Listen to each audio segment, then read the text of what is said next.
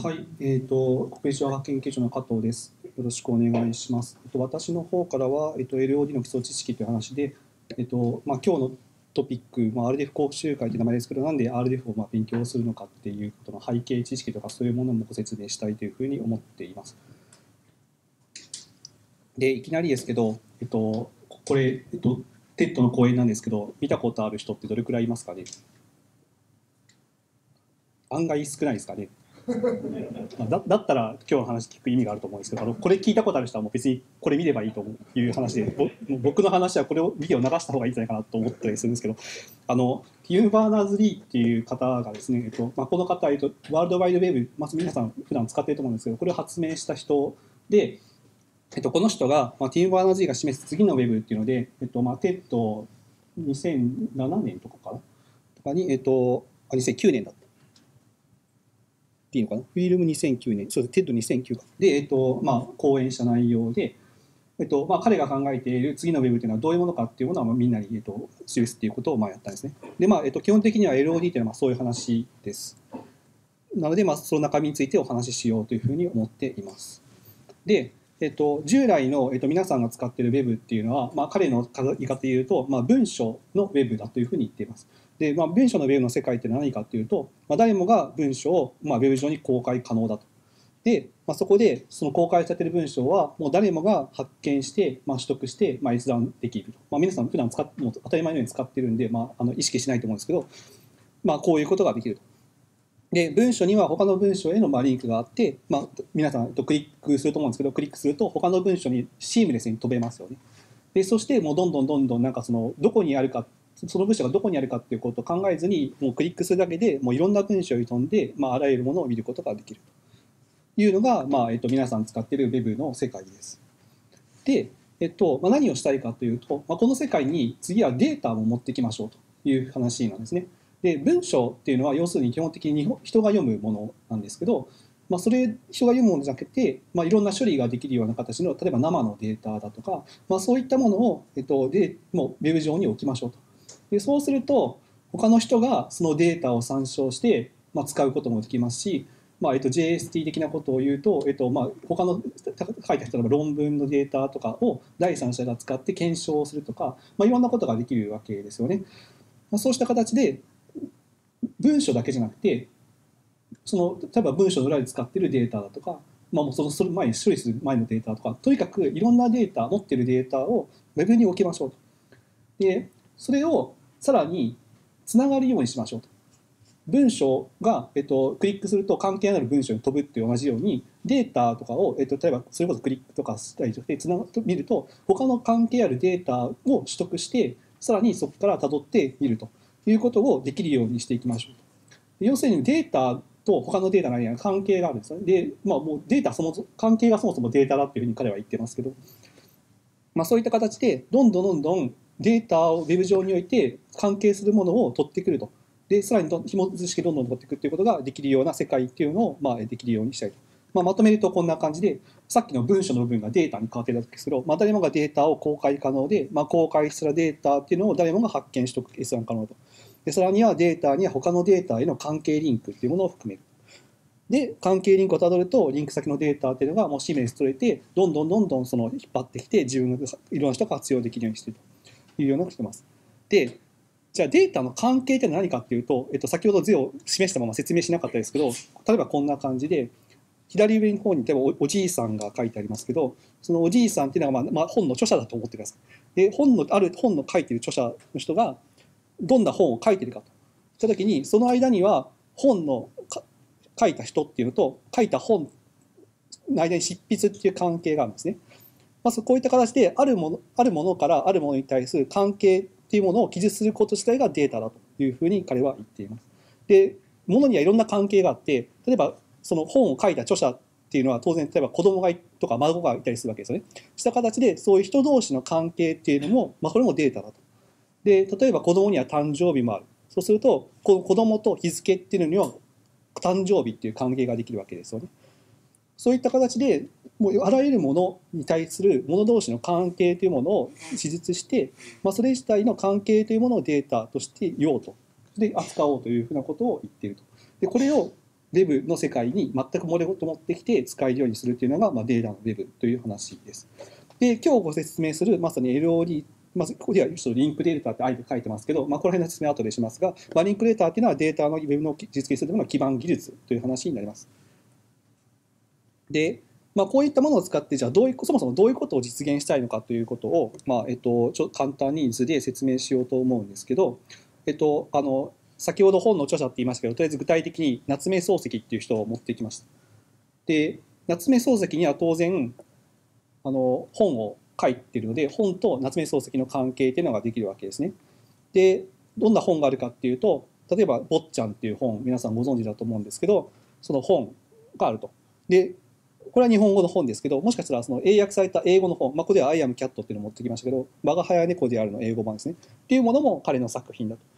で何かしらそんな形で本を書いた人と、えっと、本っていうものに間に関係作品っていう、まあまあ、いろんな関係が考えられてますけどそこではまあ作品っていうふうに関係しましたけどそういう関係があると。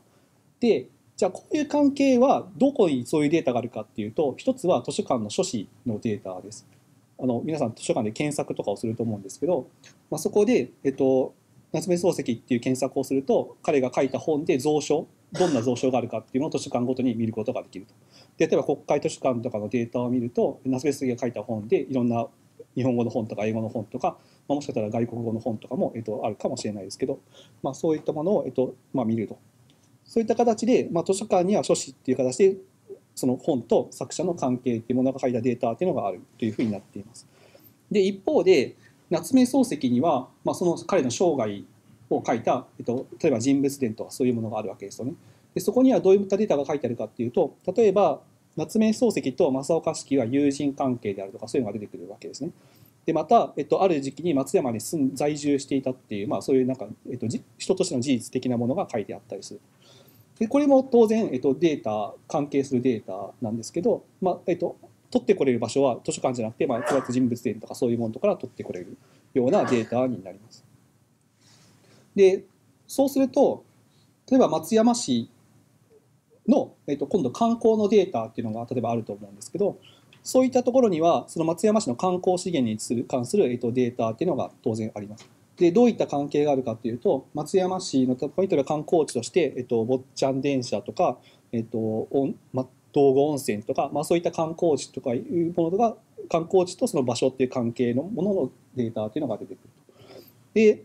例えば坊ちゃん電車っていうものは、えっと、その名前の由来がその坊ちゃんっていう本っていう関係が例えば考えられると。これもまたデータとしてあり得るわけですね。で、坊ちゃんの舞台は例えば松山市だと。こういった形で複雑にどんどんどんどんいろんなものとものの関係というのがデータとして記述されるということが起きてくるわけです。で、えっとまあ、LOD とここで言ってるものは何をしたいかっていうとこういったいろんなところで書かれているデータを一緒に扱って混ぜ合わせて使って、えっと、一つのデータとしても扱えるようにしましょうというのが最終的なこの LOD と言っているものの、えっと、目標というか、まあ、実現したいことなんですね。だからそれぞれ今色が違うところのデータは別々なんですけどそれぞれ書いてあるもの例えば夏目漱石っていうものが当然同じだとするとそこを一緒くたに混ぜ合わせて例えばこうここで見た時になんか「坊ちゃん」っていう作品を書いた人の友達は誰かっていうものをこのデータから見てくれるわけですよね。けどそれをやろうと思ったら複数のデータを持ってきて混ぜ合わせて使えるということができないといけないというふうになっています。でまあそれをまあ技術的にどうにかしたいという話なんですけど実データを取ってくると多分こんな風になるはずなんですね。まあ、別のパターンも当然あり得ると思うんですけど例えば書士のデータと人物のデータっていうのは当然別々なわけですよね。でそうした時にそれぞれのデータで夏目漱石っていう書いてあるところを実際には例えば同じですよっていうことをそれ自体も関係として書いてあげるということをすると。で例えば本の書士としての「坊ちゃん」って書いてるものと、えっと、観光資源としての「えっと、坊ちゃん」って書いてあるところも、えっと、ここでは一緒ですよっていうことを関係として書いてあげるで同じ関係っていうのがあれば当然違うっていう関係もあったりしますし各データセットごとでそういった関係お互いの持っているものに対する関係っていうのも書いてあげることで最終的には、えっと、こういった形でバーチャルに、えっと、一緒に扱うということが、えっと、全部技術的にできるような形で作られていると。いうふうになっています。はいまあ、基本的にはこれがもうやりたいことという話ですね。で、まあいろいろ Web 上にデータを、まあ、ちょっと話が変わりますけど Web 上にデータを置くっていう時置いて、まあ、いろいろ共有して使うっていった時に実際には、えっと、大きく分けて2つのアプローチがあってまあ、今日メインで話した話は技術的な話でそのリンクトデータってやつ使って、まあ、今のやつをやりましょうって話なんですけど、まあ、昨今のオープンデータっていう名前でいろんな話を言ってそのデータを公開することによってみんな共有しましょうっていうことで別のアプローチとしてオープンデータっていうのが、えっと、言われてます。でこれを合わせてまあ、LOD というふうに言ってるんですね。だから明示的に僕は言葉を分けてリンクトデータと LOD って分けてるのは、えっとまあ、LOD って言った時には割とそのオープンデータと Linked Data が混ざって両方ともそのウェブ上でその公開する時、えっと、アプローチを2つ混ぜ合わせたものとして、まあ、みんな LOD というふうに言っています。ただ、えっとまあ、ちょっと歴史的な、えっと、理由で、えっと、LOD って言った時にそうじゃない時の LOD っていうのがあったりするんですけど、まあ、そこら辺、えっと、後でちょっとだけ言うかもしれませんが、まあ、基本的にはこういう概念だというふうに思っていただければいいかと思います。なので私は意識的にその技術的な話をするにはリンクとデータというふうに、えっと、言ってその相対としては LOD というふうに使い分けていると思うんですけど多分多くの人の場合は、えっと、どっちの単語を聞いてもまあ同じだというふうに思っていただければそのいいいいかなというふうに思います。で、えっとじゃあその、まあ、最終的にその LOD っていうものをやりたいというふうに言ったときに、えっと、どうやってやっていけばいいかっていう話で、まあ、そのティム・バーナーズ・リーっていう人が、えっと、かんどういう段階でやっていけばいいかっていうことを、まあえっと、5段階ので考えて、まあ、示したのがこの図です。でこれがいいか悪いかっていうのは結構賛否両論があるんですけど、まあ、基本的に、えっとまあ、一つの指針として使われているのでご説明したいなというふうに思っています。で基本最終的にはそのウェブ上でデータを公開してみんなで集それ例えば自分の使い方によって集めて使い回したりとか、えっと、いろんなことを、まあ、そのウェブ上にどんどんデータを置いたものを使ってやっていきたいわけですね。でそれ利用する理由は、えっと、そのユーザーに委ねられていて、まあ、人によってその使い方が全然違う使い方がされているんですするんですけどそれは Web と一緒で Web も、えっと、公開した人と意図しないような使われ方っていうのはもう普通にしていくわけですよね。でそもそも Web 開発した人はなんかその Web が商業基盤として使われるとか全く想像してなかったわけですよね。彼は基本的にはその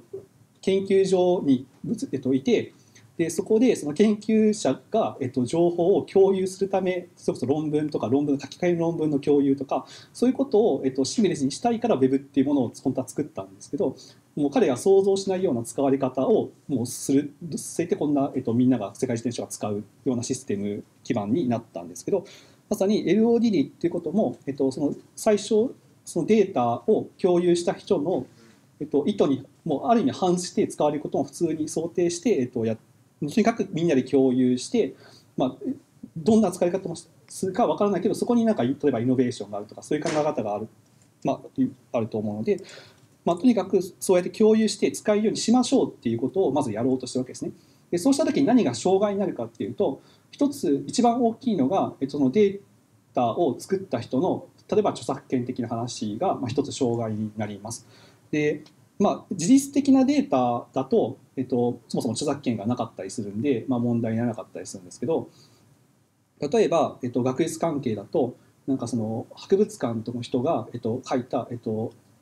そのある作品に対する説明文とかそういうものを扱おうと思うとその説明文には当然その学芸員の著作権が出てきたりするわけですね。そういった形で扱おうと思ったデータの一部には当然著作権が出てくるものが出てくるんですね。でそうした時にも、えっとまあ、いろんなパターンがあると思うんですけどとにかくそういった著作権の問題に縛られないように、えっと、共有しましょうっていうのでまず最初にそのオープンなライセンスを使って、えっと、共有するっていうことを、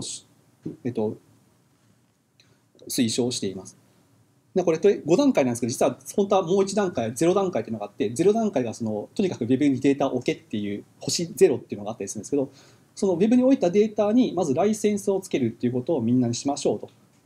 いうふうに言っています。これが1段階目ですね。まあ、とにかくどんな形式でもいいのであなたのデータをオープンなライセンスで Web 上に公開しましょうと。で公開したら、えっと、それをできれば、えっと、人が使いやすいような形で構造化データとして公開しましょうと。これは、えっと、プログラム書いたことある人だったら、えっと、想像しやすいと思うんですけど、えっとまあそえっと、ない書いたことなかない人でもそのよくあるパターンとしてなんかデータを公開してますとかいうので PDF に画像が貼ってあるってパターンは、えっと、多分皆さんよくある見たことあるパターンじゃないかなというふうに思うんですけどそうじゃなくてせめてなんかその表が Excel で読めるだけでも、えっと、便利になるわけですよね。でそうするとそこで分析したりとかいうふうにできるんですけど PDF に画像あると自分でデータを起こしてやるっていう割となんかその研究者の人がやったことあるんじゃないかなというふうに思ったりしますけど、えっと、そういったことしなきゃいけないんでじゃあ次の段階としてはそういった形で何かしらプログラムとかソフトウェアが処理できるような形でデータを置きましょうと。それが2段階目ですね。でできればそのある特定のソフトウェアに縛られるんじゃなくていろんなソフトウェアで処理できる。ような形式例えば CSV とか JSON とか XML とかだと、えっと、いろんなソフトウェアで処理できるわけですよね。で例えばなんか Excel でしか読めないっていうのは意外と使いにくいのでなんか Excel からわざわざなんか TSV とか出してそこで R で処理するとか、えっと、皆さんやると思うんですけど、えっと、そういうことを、えっと、手間をかけないユーザーに手間をかけさないように、えっと、できれば、えっと、いろんな人が処理しやすいような形で出そうというのがまあ3段階目です。でここまでが割とあるオープンデータとしての、えっと、よく言われる話で、えっと、4実際にはこの4と5が、えっと、LOD とかで言っている段階になります。で、えっとまあ、とりあえず文章だけ読むと4が、えっと、物事を示すのに URI を使いましょうそうすることで他の人々があなたのデータにリンクすることができますというふうに言って、えっと、5があなたのデータのコンテキストを提供するために他のデータにリンクしましょうというふうに言っています。で、えっと、これだけ読むと、えっと、何をしたらいいのか分からないというふうに思うんですけど、えっとまあ、それの説明をするのがまあ今回だと思うので、えっと、したいと思います。で、まあ、大きく分けると、えっと、1段階目がライセンスの話で、えっとまあ、4, 4の間ぐらいまでがデータフォーマットデータ形式の話で、まあ、そこから先がまあデータモデルとかデータアクセスの話というふうにまあ対別することができます。で、まあ、詳しい技術的な話は後でするんですけどじゃあなんで3段階目からその4とか5とかにした方がいいのかまあ、最終的にはあのさっき見せたそのみんないろんなデータを混ぜ合わせて使いたいというのが最終目標なので、まあ、それをやるために4号をやりましょうって話なんですけど実際に4号をすると何ができるようになるかっていうと実際にそのアプリとかソフトウェアとかライブラリとかツールとか作っている人はそので基盤のデータのモデルとかアクセス方法がまあ割と共通化されてたり、えっと、そこで使われている語彙っていうのが、えっと、共通の語彙とかを使うことができるので割と再利用をしやすくなります。で、えっと、データを使う側とか再利用する側としては安全に複数のデータを組み合わせて使うことができます。あのよく、まあえっと、多分ここら辺の人たちは研究者が多いと思うんですけどなんかいろんなデータからデータを CSV のデータとか持ってきてそれを付き合わせて、えっと、マージしてとかいうことは日常茶飯事やると思うんですけどそのためにはとてもなんかその名前の名寄せとかそういうことをしなきゃいけないわけですよね。でそういったことの手間を省くことをまあ目標としていると。で、えっと、さらにその他のデータにとか他のデータからリンクしてそのどんどん辿っていくっていうその最初言ってた話ですけど参照可能にしますしデータの一部分だけ参照したりとかなんかそのでかい巨大な CSV のファイルとか持っていくんじゃなくて例えばこう数行だけカラム持ってくるとかいうことをよくしたくなると思うんですけどそういった形でデータの一部だけ再利用するとかまあ、あと最終的に、まあ、ここら辺まだ、えっと、実現可能なところは少ないですけど複数のデータになんか問い合わせて取ってきてマージしてとかいうことが、まあえっと、目標としてできるようになっているので、まあえっと、普通に CSV とか出すよりも、まあ、データの再利用がしやすいというふうなことを言っています。であと Web と同じ仕組みを使って公開するのでネットワーク効果を得ることができます。でそれぞれデータの公開者の人たちは特に、えっと、ここら辺が必要になってくると思うんですけどそれぞれの持っているデータっていうのはやっぱ基本的には小さいわけですよね。まあ、小さいといってもかなりあの規模としては大きいかもしれないですけどその専門的な例えばデータベースを持っている人っていうのはその専門のデータベースにとっては詳しいかもしれないけどそれを複数、えっと、他のところからデータを持ってきてマージするとかいうことになると、えっと、いろいろ大変になってくるわけですよね。けどそれを例えば、えっと、この専門のデータベースがここがちゃんと管理してて他のデータベースがこう管理してるんでなんかそこら辺を、えっと、リンクしてあげたりとかすると、えっと、お互いのデータとして価値が増えるというふうな形で、えっと、普通のよくネットワークとしてつながっていくとそこ価値が増えるという話ですけど、まあ、そういった形で外からも、えっと、使えるようになるし、えっと、自分からも他のデータにつながって、えっと、発見することもできるようになってどんどんどんどん辿って発見するようになっていますし、まあ、最終的にはデータの価値が相対するというふうなメリットが一応言われています。で一方でじゃあどんなデメリットがあるかっていう話も当然しなければいけないと思うんですけどあのデータのモデルが共通って話をしましたけど、えっと、共通に落とすためにグラフのモデルを使うことになっています。で、グラフのモデルってやはり学習コストが高くて、で、普通、やっぱりなんか表が一番、まあ、人には一分かりやすい話で、まあ、頑張って木が分かるツリー構造が分かるって話なんですけど、まあ、グラフになると途端に分からなくなる人がいるっていうのでそこら辺の学習コストっていうのが当然出てきます。でもう一つ作成のコストとしてあのただ表を作るよりもえっと、難しいのはやっぱり、えっと、みんなで共有して使おうと思うとデータのモデリングとかをしなきゃいけなくてそこに当然コストがかかりますしあの共通の語彙とかを使おうと思ったりするとその語彙の知識とかを得るっていうことが必要でそこら辺に学習のコストがかかります。で、えっと、もう一つここら辺は Web と全く同じえっと、デメリットなんですけどメンテナンスのコストが当然かかります。であの物にリンクをするのでそのリンクの管理をしなきゃいけないしリンクされる側になるとあの通に Web でパーマリンクとかを管理すると思うんですけどそのパーマリンクの管理って結構大変ですよね。でそういった形で自分のそのまあ、ここでは IRI というふうに言ってますけど、Web のアドレスだと思ってもらえばいいんですけど、Web のアドレスの管理をちゃんとしなきゃいけないというふうな、えっと、デメリットがまああります。で、えっと、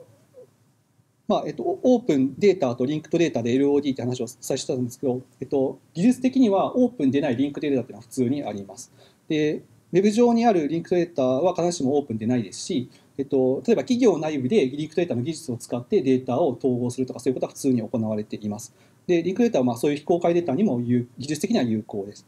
で、これは、えっと、ウェブの技術として、その、あの、普通に企業内で企業内のページを作ったりとかするのと同じ話で、まあ、インターネットで例えば Web の技術を使うと全く同じ話です。で例えば部署間でサイロになっているデータの連携とか、まあ、非公開データと外部の公開データとつないで、えっと、マッシュアップして使うとかいうことも、えっと、想定して使うことができるので、まあ、そういう人たちにとっても技術的に意味がある話です。でまあえっとまあ、こういったものをもうひっくるめても全部 LOD って言ってる人もいるんでたまになんかそう話が相互がある時もあるんですけど、まあ、技術的にはそういうことも可能なので、えっと、必ずしもその公開データだけが技術的な対象ではないというふうになっています。で実際のその技術的な中身ですけど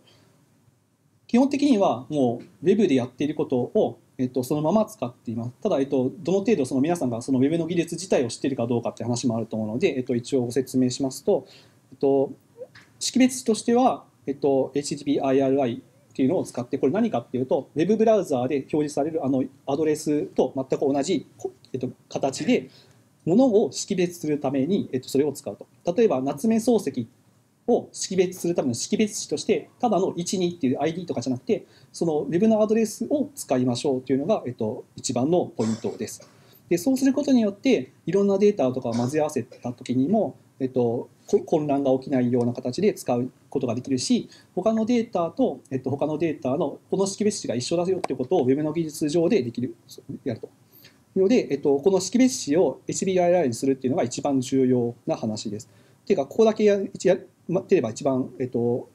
とりあえずハードルが超えられるっていう話ですね。まあ、このハードルが結構高かったりするんですけど、で、えっと、アクセス方法としては、あの Web のページと取るものと全く一緒で HTTP でアクセスすることができますし、えっと、今日の後半の話で、えっと、別のアクセス法でスパークル、まあ、こうスパークルも HTTP ベースでやるんですけど、その HTTP の上でクエリを書いてやるというふうな形でアクセスができます。で、データのモデルとしては RDF のグラフモデルを使うと。まあ、これは、えっと、今日の後半でたくさん話があると思うんで、私の中では割愛しようかと思っていますけど、まあ、データモデルとしてはそういう基盤のグラフのモデルを話すと。で、データの形式としては、その RDF のグラフモデルの CRS として、まあ、いろんな形式、タートルとか JSON とか RDFA とか、ここら辺も話があると思うので、えっと、お伝えしますが、まあ、こういうのがあると。まあ、こういった技術基盤でやるというふうになっています。で、えっと、最初の、えっと、概念的な話をした図に戻っていきますけど、技術的にはこうなっています。Web っていうのは、その IRI っていうその Web のアドレスと同じものを使って、実は HTML の文章を識別してるんですね、ちゃんと。で、そうすることによって、みんなブラウザーで、えっと、そのアドレスを入れたり、そのアドレスの部分をクリックしたりとかすると、誰もが同じ Web 文章にブラウザを使ってたどり着くことができるわけです。これはグローバルにその HTML 文章をそれで識別しているからなんですね。で、えっと、HTTP プロトコルを使うために、その IRI としては、えっと、HTTP スキームを使うと。まあ、ここら辺と多分技術的に深い話はあまりしないので、えっと、そういうもんだというふうに思っていただければいいと思うんですけど、まあ、IRI 実際にはその HTTP 以外のプロトコルも考えて作ってあるので、まあ、HTTP スキームを使うということになっています。で、まあ、それを、えっと、ブラウザで例えば見ると HTML 文章が返ってくるっていうことになっています。で、ここが Web の肝で、その HTML 文章の中には他の文章への IRI が入っている。リンクとして入っているので、クリックすると他の文章にたどり着くと要するに Web っていうのはこの IRI っていう識別子と HTTP っていうそのブラウザーとサーバーがやるとするプロトコルと HTML っていうその、えっと、文章を書くための基盤の、えっと、書き方が、えっと、あるこのこれがまあ Web の3要素なんですけどこれがあるから Web っていうのは実は成り立ってるんですね。でリンクトデータっていうのはじゃあ何をしたいかっていうとこれを、えっと、文章の部分を、えっと、最初に言ったように物事の、えっと、識別として使うと。で識別することによってかいろんなものの関係が書けるわけですよね。なので、えっと、まずその文章に使っていたその識別詞を、えっと、物事の、えっとまあ、これは事物、シングとか言ってますけど識別詞として使います。もうもう事物っていうのはあらゆるもので、まあ、人とか組織とか、まあ、それこそ JST っていうものを指したりとかそういった形でいろんなものあらゆるものを、えっとまあ、識別この中で識別すると。でそれを IR を使って識別してその識別としては、えっと、Web と全く同じ HTTP というものを使ってやります。ででそこにブラウザーではな、まあ、ブラウザーでもいいんですけど例えばそのリンクトデータに対応したエージェントみたいなもので、えっと、アクセスをすると文章じゃなくて構造化データが返ってくるっていうふうにします。でその中にはさらに他の構造化データへのリンクがここでは型付きリンクというふうに言ってますけど関係が書いてあるリンクですよね。でそれが書いてあるというふうに、えっと、すると。で技術としてはほとんどさっきのやつと一緒で唯一違うのは HTML じゃなくて、まあ、RDF という形で構造化データを返すということが、えっと、基本となっています。で、えっと、先ほど、えっと、いろんなものが事物だって話をしましたけど、えっと、Web においてはそういえっと、あるものがリソースっていう形で、えっと、抽象化されています。あのプログラムでいう例えばオブジェクトとかそういうものだと思ってもらえばいいんですけど、まあ、これは概念的な話ですけどあるのはリソースというふうに言われています。で例えば、ウェブページもリソースですし、画像もリソースですし、動画もリソースです。あと、まあ、JavaScript のファイルとかもリソースですね。あらゆるものがリソースで、で実は、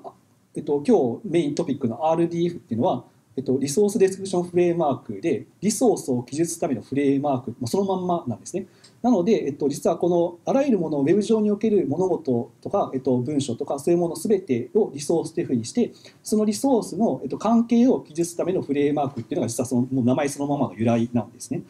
で最大のポイントは、えっと、 Linked Data としての最大のポイントは事物をそのリソースとしてその Web の空間に持ってきて同じようなこととして扱えるようにするというのが、えっと、実は最大のポイントで人物とか組織とかも単語とか概念とか関係とか全てのものを、えっと、文章以外のものとして、えっと、も扱ってリソースというふうにすると。要するにだからそこら辺を Web の空間に持ってくることによって同じ仕組みで扱いにしましょうというのが、えっと、LOD の肝です。で、まあ、こういった考え方とか技術にまサウンドする人っていうのがたくさんいて実際に各データベースとか持っているデータとかをこの形で、えっと、公開してリンクするっていうことを実はいろんな人たちが世界中でしていてこれが、えっと、2014年の時点でのそのデータセットの関係を、えっと、よく表している図で多分 LOD の説明の中で絶対出てくる、図だと思うんですけどなので多分見たことある人は結構いるんじゃないかなと思いますけど、まあ、そこで、えっと、こういった、えっと、もういろんなデータいろんな分野のデータが、えっと、緩やかに何ホップかとかたどると、えっと、たどって使うということができるような世界が実際にもうできつつあるというふうになっています。この丸1個がデータセットなんですけど、まあ、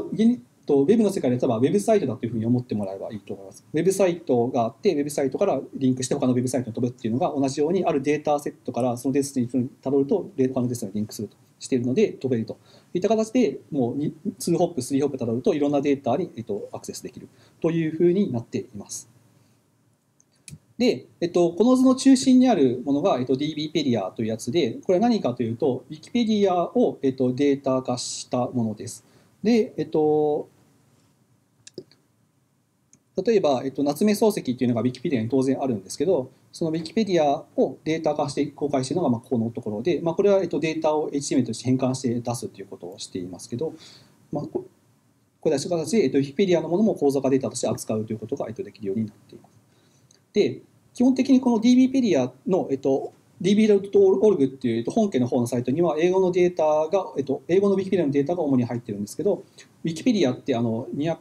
カ国語ぐらいあるんですけどでそこの言語ごとに、えっと、データセットを作ってさらに、えっと、公開するっていうことを、えっと、いろんな言語でやっています。でまあえっと、私が、えっと、これの日本語版をやっているっていうのがまあ今日多分話している理由の一つだと思うんですけど、えっと、DB ペラジャパニーズというその DB ペラの日本語、えウィキペディアの日本語のやつをデータ変換して、えっと、作るということを、えっと、やってこうやって公開しています。なので、えっとまあ、それにご興味がある方は、えっと、データとして使ってもらえると、えっと、いいかなというふうに思います。で例えば JST っていうのはこんな形で入っていてます。これも、えっと、ウィキペディアに JST にエントリーがあるから、えっと、こういった形でそれをデータ化して使うということができるようになっています。で、えっと、その LOD のクラウドの図とかには、えっと、さああんまりその日本語中心のデータっていうのは、えっと、書かれてないんですね。で、えっと、知ってる限りあそこに入っているのって国会図書館とその DP ジャパニーズだけなんですね。でただ、えっと、それだと寂しいので日本語でもどれだけデータが扱えるのかっていうのを、えっと、調べようと思って、えっと、ここ数年、えっと、調べて図を書くということをしています。で、まあ、それを、えっと、日本語リクレータークラウド図というふうな形で呼んでいるんですけど、えっとまあ、数年前と比べるとだいぶそのいろんな日本語のデータ自体もつながるということが、えっと、しています。でやっぱりそれ一つは、えっと、DPL ジャパニーズを公開したっていうところもやっぱりあって、えっと、リンクを実際に見るとその DPL ジャパニーズにリンクしているあのこの真ん中の赤いやつが DPL ジャパニーズなんですけどそこにリンクしているデータがかなり多いんですけど、えっと、それ以外のところで、えっと、リンクをしているっていうデータセットも結構増えてきています。でこういった形で、えっと、日本語として扱えるデータセットっていうのも、えっと、どんどん増えているので、えっと、これからさらに増えていくことを期待して、えっと、いろいろやっているという感じです。でまあ、こういった形でいろんなデータが公開されていて、ちょっとだけ事例を見ると、まあ、なんか夏目漱石というのを、例えば国会図書館の方で、まさに転居の情報ですけど、その転居の情報としての夏目漱石というのがこういった形で書かれています。で、これは、えっと、実際に、えっと、RDF としてやってますし、スパークレンドポイントもあるので、使おうと思えば使えます。で、ここには、えっと、基本的には著者とその著者の関係とか、えっと、そういったものが入っています。で、えっと、面白いのは、えっと、こういったデータっていうのは国会図書館だけじゃなくて世界中の図書館で実は当然転居データを持っているんで、えっと、各自が実はリンクとして公開するということをしています。でさらにそれを、えっと、それぞれの、えっと、識別紙をまとめ上げて、えっと、データとして作るっていうことを、えっと、OCLC っていう、まあまあ、図書館業界の方が知っている組織なんですけど、まあ、そこが、えっと、ビアフという形でバーチャル国際転居ファイルっていうので実は作っています。でそうすると、えっと、それぞれの各国の、まあえっと、図書館がどういった形で、えっと、その夏目漱石っていうのを書いていてでかっていうのが実はここで見ることができるので逆にここから、えっと、NDL 国会図書館のデータにたどるとかいうことも、えっと、できるようになったりとかしています。のでなんか例えば国会図書館のデータを見てビアフのデータを見てさらにフランスの図書館を見てとかいうことが、えっと、見てそうすると、えっと、それぞれの図書館で書いてある例えば夏目漱石の表記とかを持ってきたりとかすることもできますしで最近はここら辺のデータは全部ウィキデータに入ってたりとかもするのでそうするとさらにウィキデータがたどってなんか全部取ってくるとかいろんなこのデータのつながり方というのを今できるようになってきています。でこういった形で、えっと、どいろんなデータで夏目漱石っていうのを、えっと、もう識別してデータを出すっていうことをしているんですけど、えっと、最初の方でお話しした通り実際にはそれらのデータをまとめ上げて使うということをしたいわけですね最終的には。でそうした時にじゃあどうするかというと、えっと、ここに2つ夏目漱石があって1つが、えっと、DB ペディアの英語の DB ペディアの夏目漱石で、えっと、もう1つが、えっと、日本語の方の夏目漱石になっています。でそれぞれ別の識別詞がで、えっと、夏目漱石っていうのを識別していますけど実際には、えっと、Wikipedia の中でも、えっと、それぞれリンクしてあるので、えっと、同じだというふうに扱っていいというふうには思うわけですよね。でそうした時に技術的にはじゃあどうしてるかっていうと、まあ、R セーマーズという関係を、えっと、書くことによってそれぞれが一本当に一緒ですよっていうことを、えっと、書くということを実際にしています。で実際その日本語の DB ペディアから英語の方の DB ペディアの方に、えっと、セーマーズって書いてますし、まあ、逆もそうです。そういった形で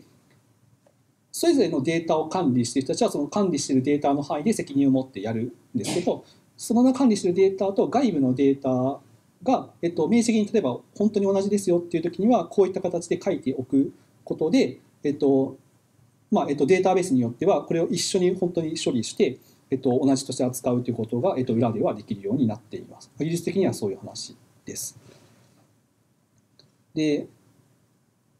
はいえっと、あともう一つ技術的な話があって、まあ、この辺は後半のスパークルとかにはちょっと関係ない話なんですけどそのウェブでデータのウェブを作るっていう話には、えっと、関係がある話で一応ご説明しようかなというふうに思ってるんですが、えっと、そうやって例えばここで松山市っていうふうに識別をするというふうにしたときにその識別をしたときに実際にこの例えばブラウザーでここにアクセスをすると、えっとまあ、普通に HTML が返ってきます。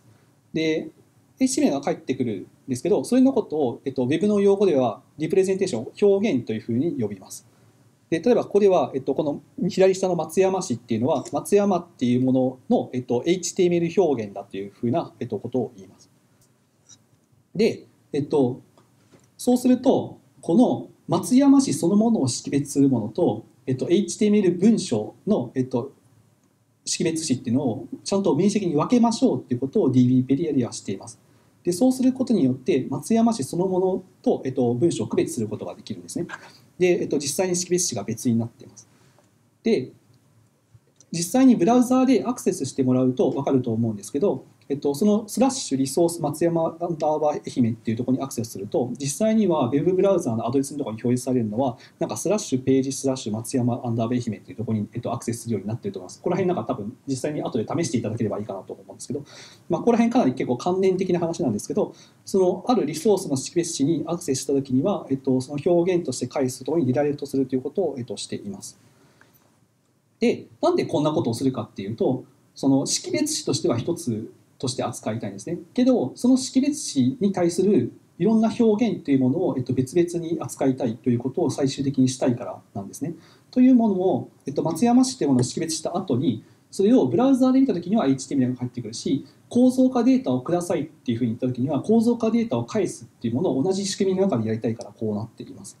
なので、えっと、左下では表現として HTML というのを起こしてますけど実はこの松山市の表現として RDF の例えばタートルの形式で書いたデータっていうのを返す別の表現として返すっていうことがあり得ると。た時に、えっと、それをタートルをくださいと言った時には、えっと、実は、えっと、同じリソースにアクセスした時にも違う別の識別その構造化データを表した識別子のところに飛ぶというふうなことに、えっと、技術的には実はなっています。で、えっとまあ、ここら辺を技術実現するのが、まあ、ICGP のなんかコンテントネゴシエーションというやつで、まあ、ここら辺あまり、えっとまあ、こんなものもあるんだっていうことでさらっと聞いてもらえばいいと思うんですけど、えっと、HTTP のリクエストで、えっと、設置をする仕組みで例えば HTML5 と XHTML5 っていう、まあ、聞いたことある人はあるかもしれないですけどなんかその返ってくる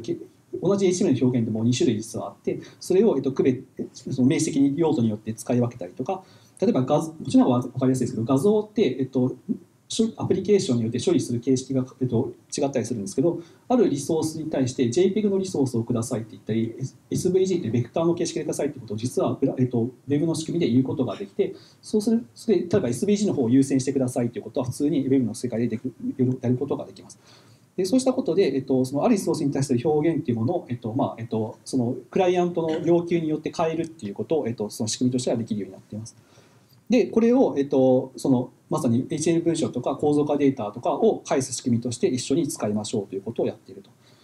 で、えっとまあ、リソースとして松山愛媛っていうものをブラウザーがこれ今 Firefox のブラウザーですけど行った時には HTML の、えっと、ドキュメントを返すっていうことをしますし、